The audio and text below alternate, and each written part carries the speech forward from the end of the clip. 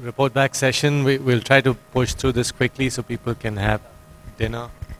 Um, Partha, you want? Uh, Yang, you, who, who's, who's reporting back? You are, right? So um, as we hear what happened in the breakout session, we'll just absorb it. There will be no discussion. Yeah? We need to save time, so we'll just absorb what you have to say and uh, bring up discussions later, not, not in this meeting. Okay. Yeah, just report. Yes. Actually, uh, our uh, Asian Cancer Plus breakout session is reported by um, Tini. So she will prepare that something for the presentation. Uh, hello, everyone. Uh, this session, uh, we are going to have a quick, quick break report back for infectious disease. Like we have two slides for Q&A summary type. Maybe we can show the slide later for this details. So maybe going to quick summary. So short time. First, we discussed uh, which disease is the target disease of alcohol. So we con conclusion. We need a general network applicable range of infectious disease, not only single disease, but much, much range of diseases, and also applicable to the pandemic. So, but we focus on three major targets, tuberculosis, NTM, and dengue. But anyway, we can have a shared consortium to coordinate the applied disease. And tissue, maybe blood and nasal swab is fine, but because we are focusing genomics, human genetics is also fine. And select a technical method, actually because we need international collaboration, we need to share uh, First, not sharing the biospecimens, but sharing the data. So data sharing is much faster than uh, and shareable communicates the internet collaboration. And there is really, because we need to collaborate with many range of the uh, countries, we, we made focus on basic, more basic and cheaper technology. I think this is different from cancer groups, but maybe single RNA sequence is the basic technology, but we, of course, the institute, if we can do more, we can add, add advanced technologies. So anyway, uh, also we need to care the institute's country where sequencing is not feasible. This is ongoing discussions point. And fourth, okay, uh, we also need to strain level diversity of target infectious disease. So each infectious disease, we definitely need the detailed criteria and definition of who to include, which pathogen is important. So we need to separate definition of the uh, infectious pathogen in each of the diseases. And also, uh, anyway, first pathogen analysis is very in, in, interesting. So uh, we, we basically focusing on single sequence case control analysis, but need to define uh, unified protocol rates the biological aspects of the infectious disease and some preparation data, sometimes much more stimulation steps. And of course, grant proposal, yes, we definitely need, but if it's stronger stick keep granting, then nothing starts. So actually, we can start what we can do, and also in parallel looking for the grants. And also what is important is we need to make a unified RRB connecting participant issues across Asia. So this is truly important if you want to make a uh, scheme which can quickly assess the newly emerging infectious diseases. So the goal of our consortium is to make this kind of global network. And also maybe going to follow Asia policy and data and project uh, sharing. So this is uh, kind of the quick uh, summary of the discussion yesterday, but we keep discussion and also want to have an announcement recruitment the participant institute, country, and researchers and so on. Okay, uh, this is the result. Uh, may I request all of the presenters to present this, uh, to uh, forward these slides by email to Dr. John Randell. Uh, we can then take it up in the organizing committee. Sorry for the delay. Okay. So uh, this is the breakout report back of the ACCA uh, projects. And as we discussed yesterday, the cancer type of interest is lung, liver, and colon cancers. And the technique proposed, the proposed technique that we will use is spatial transcriptomics, uh, sample type of interest, uh, just for the sake of um, actually more like international shipping with the FFPET. And uh, to focus on colon cancer projects, the question that we want to answer would be uh, the Asian tumor immune diversity, pan-Asian genetic diversity, and also focusing on treatment response uh, platforms. Right now, it would be Xenium's uh, 500 gene panels, and the total number of samples would be around 100. inclusion criteria, which is actually is not uh, fixed as yet. Uh, we would like to focus on uh, stage 3 MSS uh, that has adjuvant treatment plus minus IO. So the sample uh, acquisitions. So here the specific inclusion criteria for sample and detailed experiment design is, uh, has to be determined. And then we need to form a standard CIF to collect the clinical data from uh, the, the specimen that was sent. And this would include molecular testing result and demographics and risk factors. Uh, we will have to develop central IRB protocols, uh, MTA and DSA, so that this would be standardized uh, according all the, the countries that, that join, and also depending on the, the policy uh, for each country. I'm not sure that you can actually ship FFPE tissue out uh, of the country or not, but I think this has to be explored. And also, yesterday we have some very uh, like important point from, from uh, all the experts in the audience, which is the potential issues when comparing pan-Asian tumor samples. Uh, it might cause some bias from uh, country-specific or batch effect from uh, different FFPET pre-analytical factors, which, I mean, even within the same countries, we would have this anyway between hospitals. Um, so what we can think of right now would be the inclusion of reference samples uh, that, that can be used more like as a control for this. And then uh, comparing Asian result with uh, Caucasians might also help. So the next step, uh, starting from next year, would be very early pilot uh, phase one from the three cancer type that, that we just discussed, 100 sample each. Uh, we welcome sample from each countries and would be great if we can, if we can form a collaborative network on this. Uh, the first output would be a joint publications, and if each country can apply local fundings, uh, that would actually help drive this into a bigger scale. Uh, the, the, data sharing platform for phase one um, can be HCA portal or something else.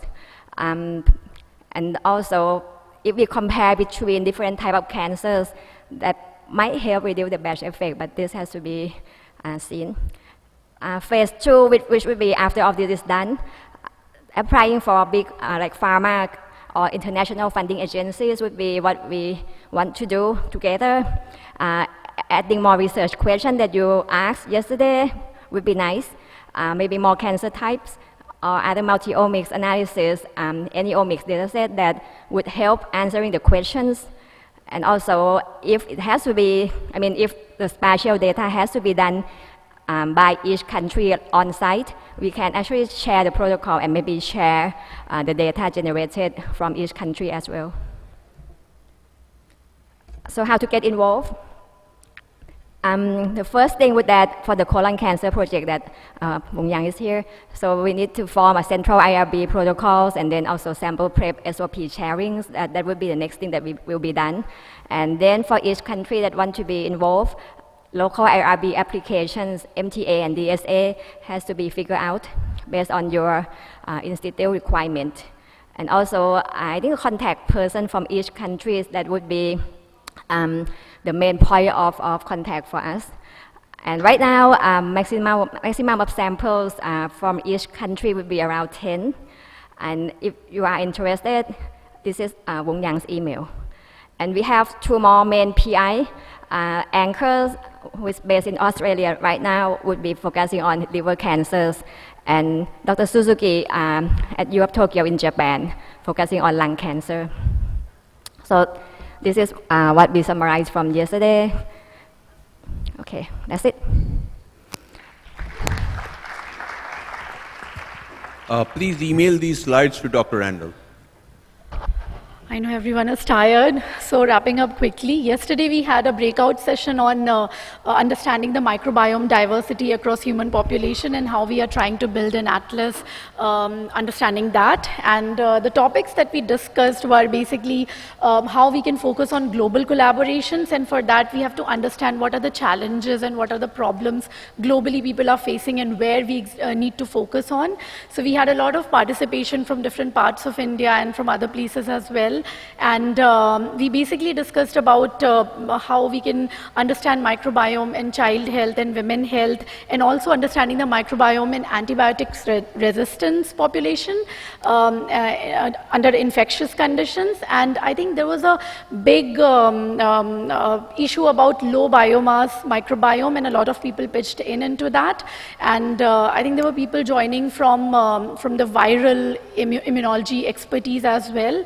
And it was good to see the integration of the bacterial microbiome and then viral microbiome and how we can pitch that in together. And uh, we also discussed about how we can standardize data collection aspects uh, in, in um, uh, in our pipelines and how we can uh, make it more cost effective. We also touched upon that a little bit and uh, uh how to statistically uh, make uh, significance out of our data and the analysis part, which there were quite a few people expert in that area, um, which Souvik also wrote in and um, it, it was a good discussion upon using the technologies that other people are using and also the analysis approaches they are using and different sample types, of course. The majority were using gut microbiome microbiomes or gut uh, fecal samples, but there were other type of tissues that people were interested in. So that part was also touched upon. And the midterm goal of this whole um, uh, flagship project is to understand the microbiome not just alone in silo like we have been doing since uh, ages, but also to build, bring in the immune aspect into that and the, the human aspect into that and study in totality what's happening um, in that space. And uh, there was a lot of focus on cancer microbiome and how it can impact the disease progression, um, and um, also how we can create synergy across diseases and understand what we know from our, our uh, experiments. I'll um, give the mic to my colleague Souvik now. We'll yeah, so in this uh, breakout session, we primarily focused on the fact that as we know now, that the number of microbial cells in our human body outnumber our human cells by the ratio 50%, more than 50%. And the HCA phase 2, we would like that uh, the HCA phase 2 should consider including the single cell sequencing for this human microbiome. To understand the host and microbiome interactions on various organs and uh, a roadmap should be created. So what we, we, we discussed in this breakout session, and th this was a conglomerate of offline and online participants also. Online participants from different parts of India and also from Switzerland in, in midnight. They were also online and everybody was very enthusiastic. We found in the offline participants several cancer scientists com coming there. So the main point that we started with was, is microbiome effect or a cause? This is something that we are very intrigued upon. Is it an effect or a cause? Is it just an association or not? So there were experts who, who told that there are studies that have shown that the sequencing studies have to be coupled with in vitro mechanistic and in vivo animal model studies now. That will give us a, a you know, opinion that is it an effect or a cause. Secondly, uh, since many cancer scientists were there, they put up this point that this human microbiome, is there any role of the human microbiome in the cancer thing. So the, there are studies that have been done. Tissue resident microbiome studies have identified specific mi microbiome associated with cancer and with the stages al al also from T1 to T2 to T3 to T4. But these are now mere association studies. Lots of such studies are being done, but we need to also figure out is it an effect or cause. That's the same thing. Now there are people who ask this question that in the in the wound healing acute wounds and other kinds of wounds that don't heal, do they have any specific microbiome signature? Well, there are studies that are happening and antimicrobial resistance in the human microbiome needs to be studied for that. Low biomass, as Archita has mentioned, we studied, we actually discussed a lot about these challenges faced in the low biomass samples, like skin microbiome, vaginal swabs microbiome, like eyes, from the eyes that they, they do the microbiome. How do they do this? So what we have seen, and personally our lab also works on skin, so what we have seen that we could do 16S for sure, but while we go to more deeper studies like shotgun and metatranscriptomics, it's really a challenge because the, the skin swabs don't have so much of microbiome DNA. Then lastly, uh, they, we had this thing that how to translate the microbiome findings for the development of biotherapeutics. Now, fecal transplant has hold a lot of promise, but fecal transplant is not allowed in many countries. So we can use these uh, organoid models and we can use fermented foods are being used as pro probiotics in some aboriginal populations. So using of the microbiome and the me metabolome together can hold a promise for the development of the biotherapeutics. So we would li like to, uh, you know, uh, re request the HCA to think about the single cell microbiome sequencing in un unison with these uh, human cell atlas so, so, so that, uh, you know, we can study the host microbiome interactions beyond the association level. Thank you.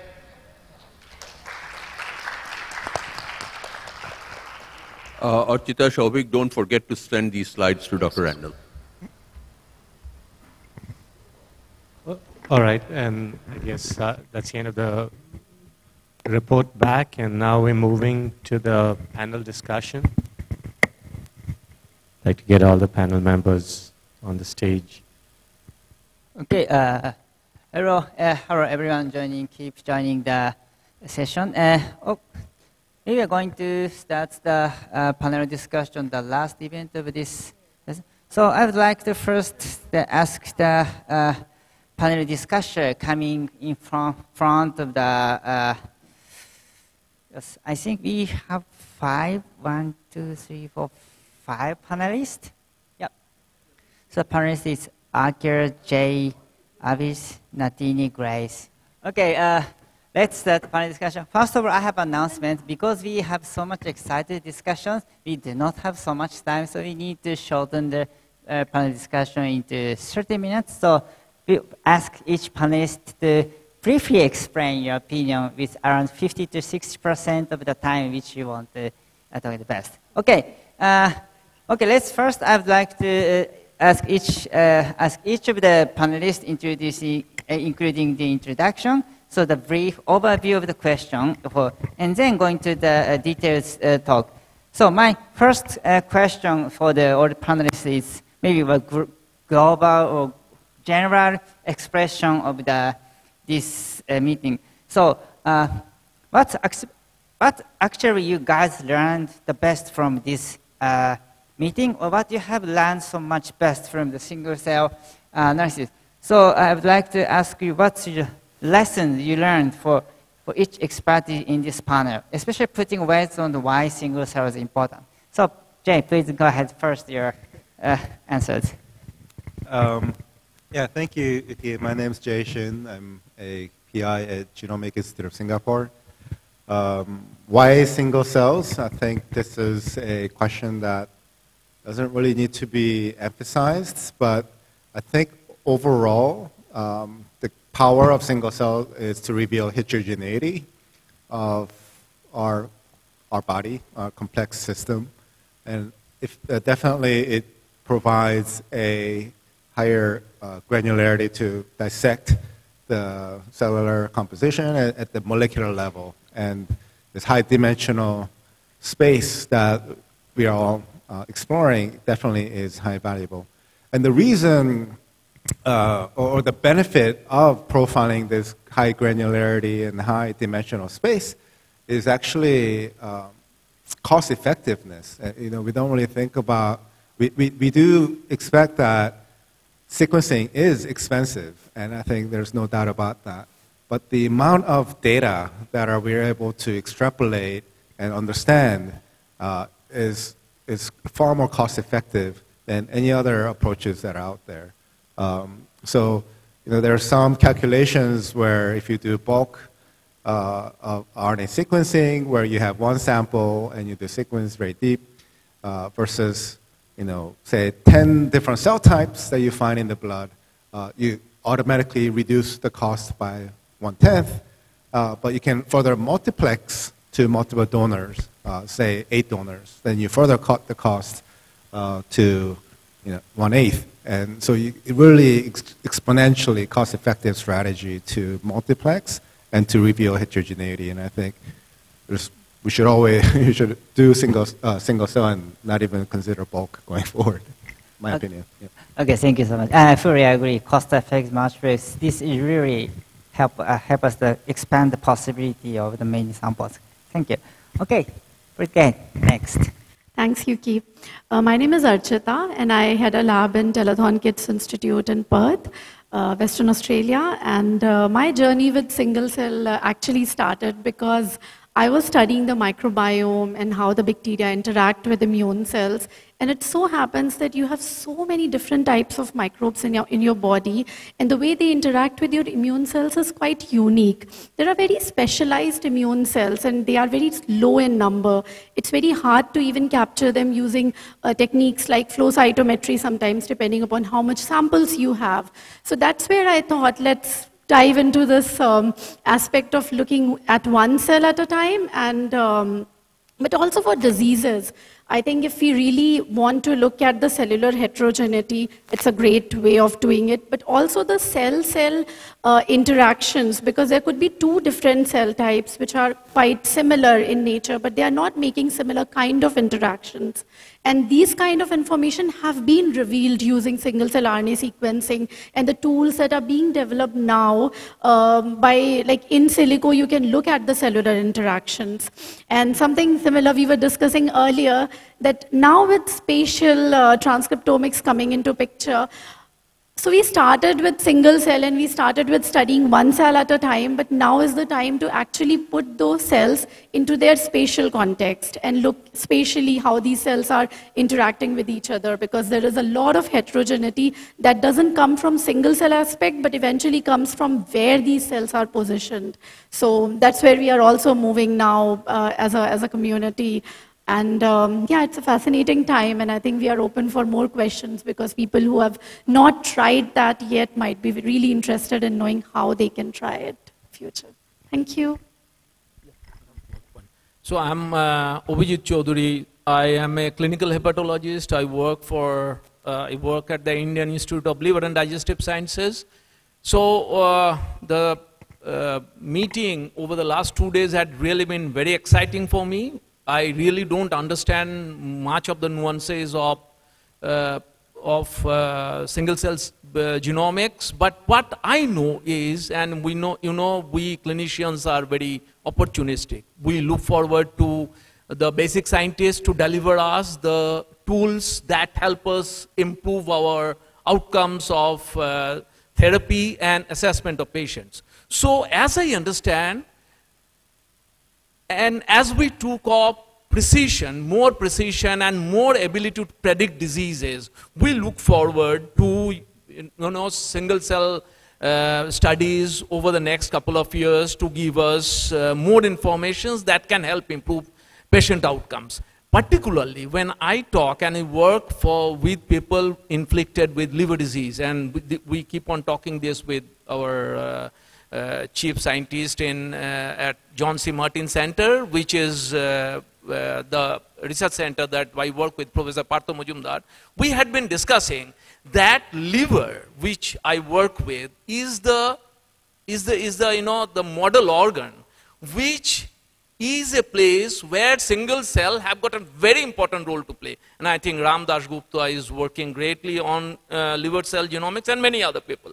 Because nothing in liver happens with and which is done by a single cell. You have got, and you cannot judge liver diseases based on anything. Any of the liver does not have an endoscopy. You know, in intestine have got an endoscopy. Stomach has got an endoscopy. But in order to liver understand liver disease, you have to look for understanding, uh, try to understand the biology of liver disorders based on complex interactions. And I think time has now come based on single cell techniques that can really lead us a lot in improving our understanding of liver disorders, particularly, and many other disorders. People are working a lot on cancer, but I think non cancer chronic disorders present before us a tremendous opportunity for improving our understanding, particularly in development of biomarkers and therapeutics, uh, uh, not only in liver disorders, in others. So, as a clinician, I feel excited when basic scientists keep on discussing this in front of us, and we look forward to a time. And that's how single cell genomics look forward to me. Not only genomics, all the omics. uh, that are going to unravel and that are going to follow from genomics. So that's my perception and that's my beginning. Thank you. Uh, hi, my name is Grace. I'm a GIS fellow at the Genome Institute of Singapore. I am a computational biologist by training. Um, I think, so this is my first Human Cell Atlas meeting, um, and the whole thing has been really exciting. I think one of the really, really cool things that I know I've learned, I've seen in the past two days is like how much you can do with single cell RNA sequencing. Like you might think you can, you know, just get transcriptome information, but it turns out that, you know, by designing experiments in a certain way or by looking at it uh, slightly differently, for example, uh, single cell EQTL um, analysis, you actually get a lot out of, you know, single cell sequence, single cell RNA sequencing. And I think that, you know, um, because I study colon cancer and we kind of come from, before that we had bulk sequencing, right? So you know, moving paradigms towards a single cell RNA sequencing, it's sort of like, I feel like now we've come to the point where we can use single cell RNA sequencing to describe all like the components, um, but we still don't really understand how all the components come together to actually, um, uh, for the whole system to work. Um, and I think that, you know, um, over the past few days, like we've been trying to move towards that, both by describing heterogeneity um, across ancestries, across within a person, and so on and so forth. Thank you. Hi, everyone. Uh, my name is Natini Jinawath. I'm from Thailand. Uh, more like this is very new to me. So I'm a molecular pathologist, and uh, I'm more like a user, quite naive in all the things that we have been talking about for the last two two days. Uh, but anyway, I mean, for me, a single cell RNA-seq um, is quite a revolution. Like my PhD actually is on uh, gastric cancers, and I spent one and a half years just sitting in front of the computers, cutting the cells, cancer cell one by one out from uh, the LCM, like laser capture microscope, and that is very painful. So this is like, you know, I think it will help a lot of PhD student life right now. you don't have to do the same thing like what I did for like almost two years. Um, but anyway, um, because we do a lot of cancer biomarkers in, in the lab and with the new technology right, right now, I think we are at the forefront of uh, being able to identify some more accurate biomarkers for drug response for cancers and uh, also I guess when, when everything's become more stable and cheaper, hopefully it can be very be used in a clinical lab and that's what I have hope for. Okay, thank you.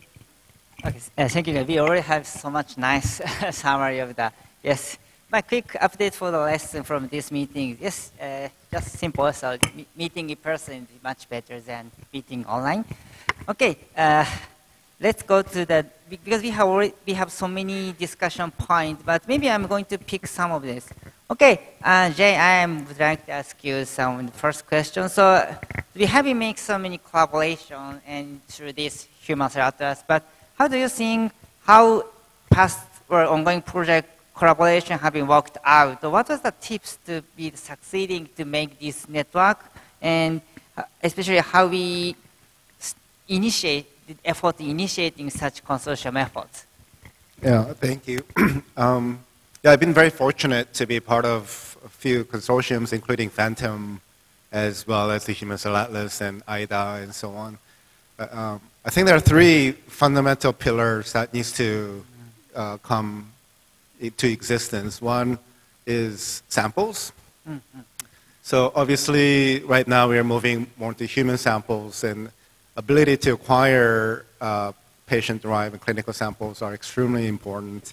Uh, so having that access and ability to uh, acquire them in an ethical and appropriate manner is extremely important. And the second pillar is the technology. So we've been talking a lot about single cell TEDx or perhaps other platforms, including spatial uh, strategies. So you have to have the robust platform or technology that can obviously uh, uh, good operators and teams that can manage that. And third and most importantly, of course, uh, computational and, and, bioinformatics and mm-hmm. analysis. Um, and it's rare that one lab can do all three, and maybe one or two. Uh, so it calls for naturally you need to collaborate, and you need to find and seek people with different expertise and have those people come together. I would say if you have samples, technology and analysis, you can write a paper, right? But that alone uh, it, uh, is not also the ultimate goal of Human Cell Atlas. And really the idea is what can we create that will generally help the broader community? I think the, the, the mission of a consortium is to provide valuable reference or a community-driven consensus uh, to tell the international scientific community what could be the international standards for, uh, for genome annotation or for cancer atlas or human cell atlas, and that it is not one individual lab or not individual institution or country saying this is what we believe is to be true. The consortium is to create a community consensus saying the international the collective members believe that this is what, you know, to our best of our ability, what the international, uh, the reference should be. Uh, so that gaining that kind of trust and ability to uh, attract many users and community to leverage on this resource is also a key component to um, collaboration. So yes, uh, it's important to develop your local consortium, uh, local network of clinicians and technologists and computational to write papers. But please do consider how you can work at regional level mm. or even at the international level to create greater value that can bring in uh, users and attract people to really leverage the resource that you've created uh, in order that uh, we could really help many other people and scientists around the world. So uh, be flexible and uh, horizontally in reaching out collaboration, but also please consider how you can impact the international community by contributing to the international consortiums like the Human Cell Atlas.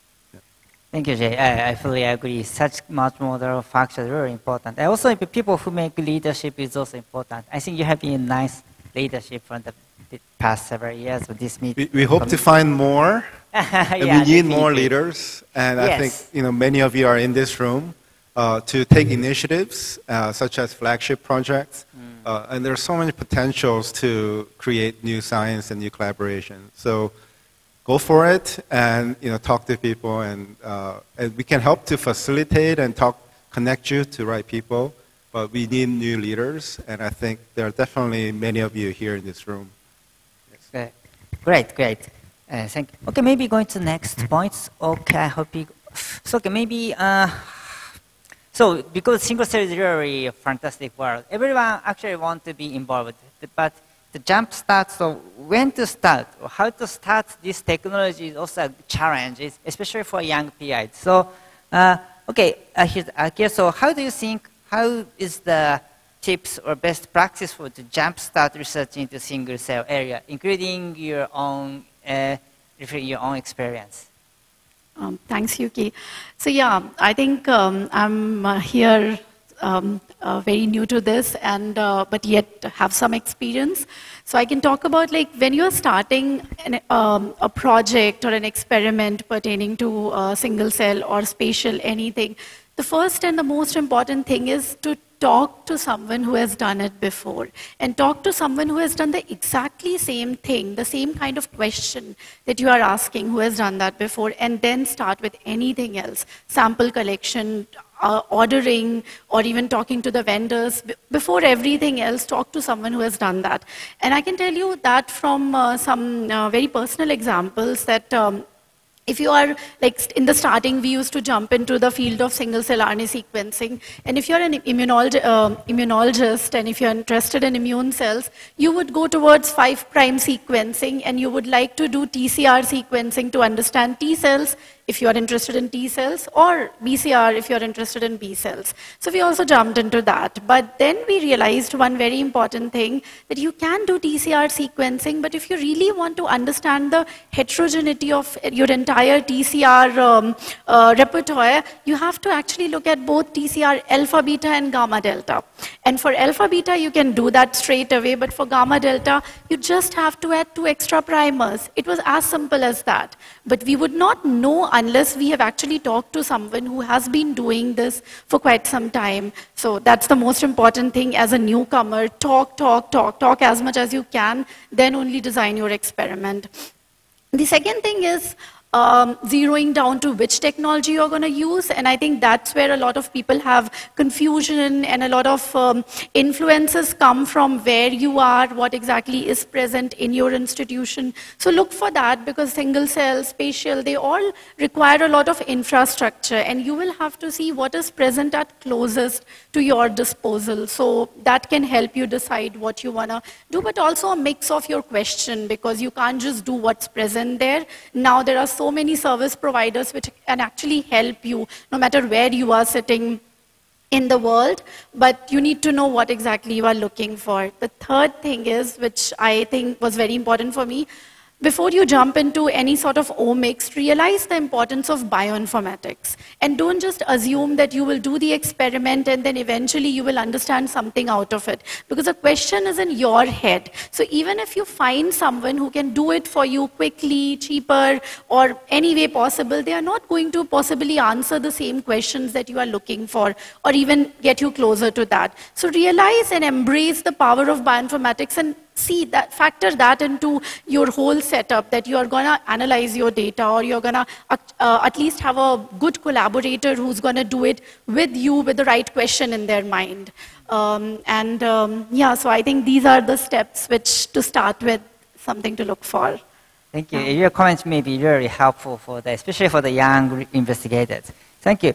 Okay, the next point shows uh, visit. So, okay, this relates to your previous comments. So we, we, we have, there so many single-cell technology and researches, but how should we connect this technology research into clinical applications? So how do you think the translational way we should proceed? Yes, so that's going to be the final uh, expectation from the technology that is evolving, I believe. Uh, I, I, just was uh, wondering that, you know, whenever a new technology enters into a scientific uh, field, and, and I, I, would consider single cell uh, sequencing as a fairly new technology, there is significant amount of enthusiasm, and everybody starts feeling, whenever he or she does the work, that mine is the most clinically relevant one. And, and is, it, that's good for enthusiasm, but let's remember that not all that work that we do will be clinically translatable.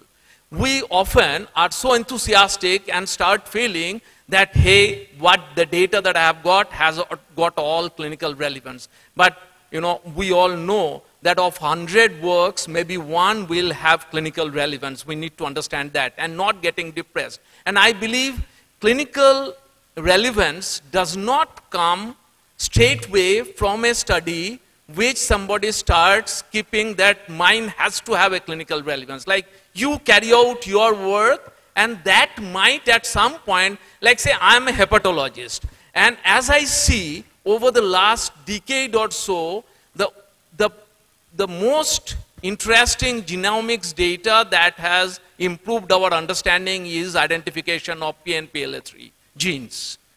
Okay, but that did not start off when Helen Hobbs lab started telling that we are targeting this gene. So what I feel is you start doing your work in your own way and start thinking that mine is addressing a question, but that's not going to go to bedside tomorrow itself, which is probably premature to conceive of at the beginning of your study. And I think there are two very important areas where single cell sequencing and genomics and other omics data can contribute. One is predictive biomarker development, which should be our initial goal. Why I'm telling this? The usual jumpstart is I will develop a, I will do some research which leads to therapy target defined definition. Let me tell you that defining therapy targets is not a very easy job. You know, many therapy targets are targeted and pharmaceutical industry keeps on looking for that. But most of these fall short in the usual way. So let's conceive of a scenario where in the next couple of years, we will have fair amount of data to suggest that predictive biomarkers in cancer, already we are nearing to that, but particularly in the state of chronic disorders. A- Again, I'm telling, I work with non-alcoholic fatty liver disease, which is called as MASL, and it's, it's the classical disorder where you don't have a single pathway acting. And this is where the role of single-cell genomics probably. It's so cell-to-cell interaction, working over the temporal frame, not working on the cross-section, how the, uh, you know, the biological phenomena are interacting and producing a clinical event in the, in, the, in the state of events is all that unravel. So I would conceive of that biomarker development should be our initial target and we need to define our phenotypes very well while doing that. Unless we do that, unless we define our phenotypes of our work, we are not going to succeed. So that's what the way I think. Okay, uh, great passion, Elvis. Thank you. okay, the next question, a little bit more broader things. How to make global initiative with single thread? So this is for Grace. So especially we get so we new revolutionized technology, something special, genomics. So how you should adapt such revolutionized uh, technology and go into medicine and how should we make a global initiative? Sorry for the broad question, but yeah, how do you think on it? I think, um, you know, one of the really um, nice things that have come out of the Human Cell Atlas are these computational tools and pipelines that have become more and more accessible to biologists. And I think that's very important because, you know, sometimes um, as a computational biologist who works in between, it's kind of almost mm, sometimes easier to hand the computational tools to the biologist than from the biologist to actually like um, distill the knowledge um, inside their heads, or for example, for a pathologist to tell, to somehow be able to explain, you know, what they're looking at in the image, why they're looking at it, and then take that and move that into computational um, thing. I think those are both works in progress, but by developing tools that are able to integrate, I think, you know, these skills and then making them accessible to people, then, you know, more and more people around the world can actually like take these data sets and then apply their own unique knowledge to them. And, you know, through the development of, you know, human in the loop um, um, um, software, um, then, th- then these then this allows more and more people to participate um, in initiatives like the Human Cell Atlas. Thank you. Great. Yeah, I fully agree. And it should maybe be a good uh, opportunity to foster such initiatives. Okay, the next question is okay, uh, well, funding issues. So this is for uh. Yes, of course. Uh, what's the best practice or strategy to seeking funding for single cell organics? How to align and engage with industry? Of course, yeah. Uh, we are very strongly supported by Chan Zuckerberg. I hope it should be keep, but we also need to find a multiple way, especially collaboration with industry. So how do you think what is the best way to? To get the funding? Yeah, yeah, yeah. Okay. it's like quite a question for me. okay. So uh, again, um, as a pathologist, okay. so uh, I think for me, uh, first thing that you do when you want to, to do single cells experiment, um, I think even before having fundings is to find someone who know how to do it. and in this case, um, we need to reach out to collaborators who actually maybe has uh, expertise in this field before you, and maybe um, again maybe know other people that can be a hub for you to, to, to apply for the fundings. And I guess it may be the same for every country, um, those kind of hubs. okay. Um, for the pharma companies, uh, again, right now what they are interested in would be to, like, like Dr. Abhijit said, so identifying biomarkers for the existing um, targeted therapies. And as we all know, uh, IO is very big in cancer right now, and the response rate of, of uh, treatment for IO is like only 10% even now. But when the patients can be, you know, can, if they can respond well, you can almost kill them. So that's, that's the idea. So uh, I think if you are working on drug response or, or something that can be linked to, I think the fastest way is that you can work on something that can be linked to some targeted therapies that might be a way for you to approach uh, the farmers and, and might be able to um, get some funding from them. But I think first of all, you need to find someone who um, can become a hub for you to build on. Like, okay, this is Yeah. like as a Yeah, pathologist. yep, please go ahead, Jared. Okay. I think the uh, other, other opportunity, maybe not with industry, is there are a lot of national genome projects that happens in many countries. And obviously there's a lot of funding that goes into doing whole genome sequencing across the population. I think we could really build a case as to why not single cell RNA sequencing of PBMCs at least, uh, along with the whole genome sequencing project. I think the reason for that is uh, obviously immune cells and RNA-seq are much more dynamic, and there are changes that occur through the age and environment.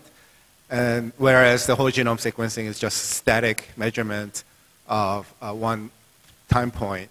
Uh, and I think there are also arguments that even whole genome sequencing, the, our DNA can uh, acquire somatic mutations over lifetime.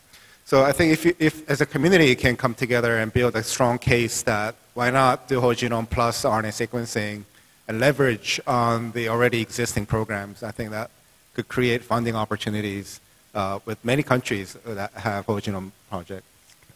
Thank you. Yeah, actually also there are so many professionals of funding this field, so maybe we can help each other. So okay, we have several minutes left, so I think the panel discussion should be interactive between audience and participants. So is there anyone who want to put a question to the professional panelist here? Is there anyone who want to raise your hand to questions? No questions, right? Good.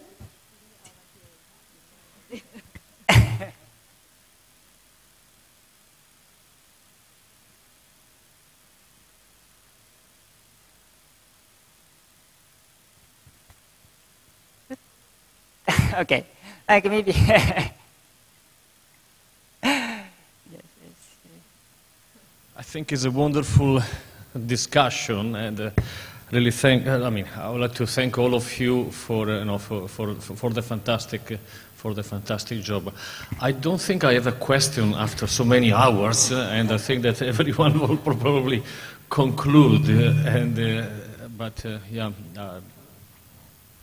probably should celebrate this meeting, I guess, and, and, and be happy for what we have achieved so far, I think. And, uh,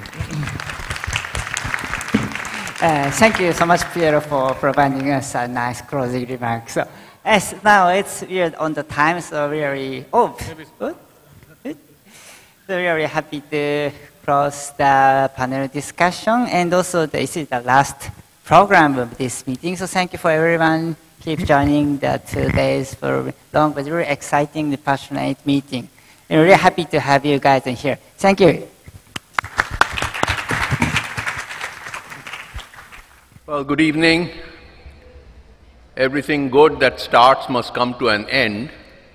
Uh, before I actually project some slides, I have a request to all of you. Please do not go away without having dinner. Yeah, please do not go away without having dinner. Let's dine together because, you know, today is the last day of HCA Asia. Um, so I do have some slides and uh, yes, so uh, those are the closing slides. Uh, first of all, again, one more appeal. Uh, do become a member of the HCA. Get yourself as a member of one of the working, uh, one of the um, you know, bio, bio networks, and that way you become a member of uh, the Human Cell Atlas. So I um, also tag us on social media, and you can actually go forward and do that. Uh, let me take this opportunity to thank uh, the hotel, Taj City Center, in particular, uh, Mr. Tanumoy Basu. I don't know if he is here. He's uh, constantly uh, been engaged with us, and he's helped us a lot. I also take this opportunity to thank uh, you know, the AV team who have uh, worked very much with us and the uh, decorators who have put up the platforms, etc.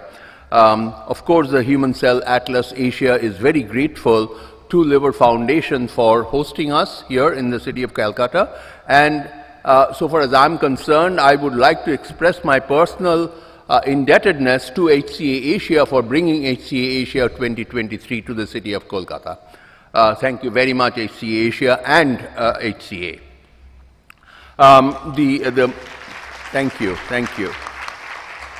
Um, we don't have counts of how many people attended because there's been a, a floating, a little bit of a floating uh, crowd. Uh, virtual attendees, yeah, they came in and out, so we really don't have counts of those. But uh, the, in the two days, we've had representations from 34 countries. We had 36 posters, um, and we had 45 speakers and panelists a total of 48 talks, three of them were, um, you know, um, virtual talks, or some of them were virtual talks, and we had three breakout sessions. So thank you, uh, thank you very much, and uh, indeed, thank you for a great meeting to all the speakers, chairpersons, panelists, um, and, and people who actually attended the breakout sessions. Thank you very much. Uh, we really would like to hear from you. Um, what were the shortcomings, how would you like us to improve. And uh, there is a five minute survey that you can, uh, we would like you to take, and that's the QR code. So um, do, do help us improve ourselves uh, in, the, in the future. Uh, the recordings of this entire session are available, so they, they are available um, in this uh, particular website. So if you go to the website of the Human Cell Atlas uh, 2023, Asia 2023, you will get these recordings. And uh, uh, some special thanks. Uh, special thanks go to uh, general operational support from the Chan, uh, Chan Zuckerberg Initiative, the Klarman Family Foundation, and the Wellcome Trust. Um, again, like I said, Liver Foundation has been a gracious host, and we are very grateful to Liver Foundation. Uh, the program committee worked very hard to put up this program and uh, these are the faces in the program committee. Uh, most, most of the people, most of those of us who are on the program committee, most of us gave talks, so uh, you, you know them, but again, on behalf of HCA Asia 2023, I uh, really thank the program committee for putting up such a beautiful and academically rich program. Uh, the local planning committee also worked hard with respect to the logistics, etc. And uh, we thank the local uh, organizing committee for doing this. Um, the, uh, I've already thanked the speakers, session chairs, panelists, uh, people who conducted breakout sessions and so on. I'm not going to read all of the names, but you know, they, the, the, they are all important and I'll um, you know, thank everybody for um, for doing this to, uh, on behalf of HCA Asia 2023. Um, there are people who, young people took notes and young people ran around with microphones. Um, so uh, really they, they, they are the backbone of this particular meeting and uh, we do have to summarize uh, what we have learned from this meeting and we will learn all of that from the notes that they have taken and uh, the mic runners uh, went to you with their microphones and therefore you wouldn't have gotten a chance to speak if, uh, or we wouldn't have gotten a chance to hear you speak unless uh, they brought the microphones to you. So we thank all of the, uh, all of the poster presentations, presenters, scribes and volunteers, um, the uh, audio, audio video um, IT team, the Liver Foundation and the HCA um, executive office. Um, really wish to also thank two, two people whose names appeared, but I personally would like to thank Dr. Partha Mukherjee and Dr. Dipesh Das. Uh, I hope they're in the hall. Uh, without their help, I could never have done this. Uh, amazing people. I mean, they kept awake the whole night and uh, you know organized this hall and so on and so forth. So um, it's amazing that they have uh, the kind of logistical support that they have provided to HCA Asia 2023, um, Dr. Partha Mukherjee and Dr. Dipesh Das. Uh, both, both belong to the Liver Foundation, our hosts, but still they went out of their way. I also take this opportunity to thank all of you for participating in HCA Asia 2023. Without your participation, only a few of us gave talks, right? Most of you have heard, and your participation was absolutely critical. Otherwise, we would not even be able to hold this meeting, and the meeting would be uh, would would just be wasted essentially. So, thank you very much for uh, attending, for participating in this meeting. And uh, again, like I said, please do not go back without having dinner with us tonight. Thank you very much.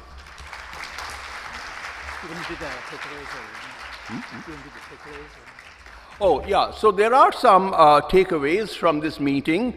Um, John and I have actually drafted some take takeaways. So let me, uh, these are just five or six bullet points. So essentially, Uh, well, we, this is a big group, right? We took this uh, picture and it looks just absolutely wonderful. So many people attended, and again, I thank all of you for attending, uh, attending this. And what happened to the key? What? Uh, yeah. Okay, I, am not projecting it. I'll just read it out. The key, uh, key takeaways. Number one. So this is this is what uh, uh, you know. Many of us got from this entire proceedings of this meeting, and this is what we believe are takeaways. You may have your own additional takeaways, but this is a sort of a minimal set. Uh, number one, capturing human diversity continues to be a challenge, but HCA Asia researchers are in the vanguard. So we do have a responsibility, we have made a commitment, we do have a responsibility to take this uh, forward. Uh, number two, HCA flagship projects have a strong potential to foster regional collaboration and connect single cell atlases to regional uh, priorities. So that's the second bullet point. We need to think about our regional priorities and we need to connect amongst ourselves and then connect globally as well. Third, single-cell genomics research is advancing from being descriptive to hypothesis-driven, and we have seen that. Uh, many talks were descriptive, but there were quite a few talks that were kind of hypothesis-driven, much more focused than just being, uh, uh, being descriptive. Uh, number four, understanding and identifying factors that impact on robustness of inferences helps create better tools. So yesterday in many of the breakout sessions, this is what was discussed, that uh, the tools are being uh, developed and how do we know one tool is better than the other or more robust than the other. So one of the ways that uh, you know we have heard in the uh, breakout sessions is that identify those key factors that impact on robustness of inferences and if you can identify those key factors then we can improve on the existing tools. Uh, five, time series single cell data help us understand development of tissues and organs. Right now, uh, most of the most of the talks were you know sort of single time point data. Uh, wouldn't actually tell us about how cell types and cell states uh, mm, uh, you know change over a period of time during development. Um, so uh, time series data time course collection of uh, biospecimens would help us understand that and that's very very critical especially in order to be able to manage diseases. To be able to manage diseases we need to understand um, you know, health, uh, and therefore, over a period of time, time course analysis will help understand uh, you know, how health develops better, normal development happens, and then perturbations can be more easy to detect and manage. Um, so these are the key takeaways, and uh, thank you very much. And essentially, I also would like to thank um, uh, Esther. Esther Chua was here, so she's actually uh, drafted all of this. And thank you, Esther. Thank you very much. Thank you, Yoshi. Uh, Yoshi also kept up, you know, all night trying to make sure that the LED wall walk works and the IT. Thank you, Yoshi. And last but not the least, John is uh, really a support. He's the pillar. And, uh, you know, we, we engage with him. He generates the money, talks to the people, talks to various funders and so on and guides us. So John is really a pillar and we all thank him from the depth of our heart. John, thank you.